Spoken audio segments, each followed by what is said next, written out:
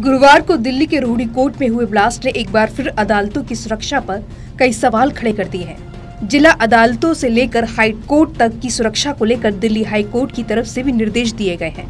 लेकिन उसके बावजूद गुरुवार को इस घटना ने सारी पोल खोल कर रख दी है।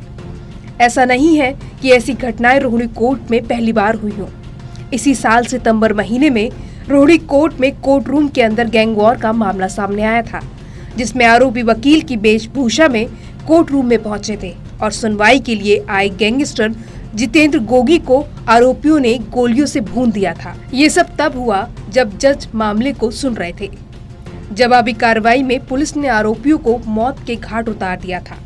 इस घटना के बाद वकीलों द्वारा सुरक्षा जाँच न कराए जाने को लेकर भी सवाल खड़े हुए थे।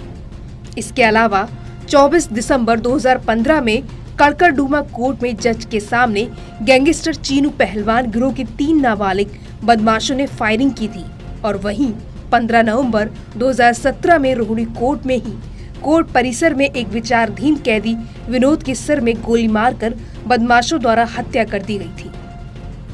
दिल्ली बार एसोसिएशन की तरफ़ से कई बार मांग की गई है कि जिला अदालतों की सुरक्षा सुप्रीम कोर्ट की सुरक्षा के तर्ज पर की जाए। कई बार वकीलों के संगठन की तरफ़ से दिल्ली पुलिस को भी सुरक्षा के लिए लिखित में खत दिया गया है, लेकिन इस तरह की घटनाएँ सुरक्षा को धत्ता बता देती है। Vinay Singh total news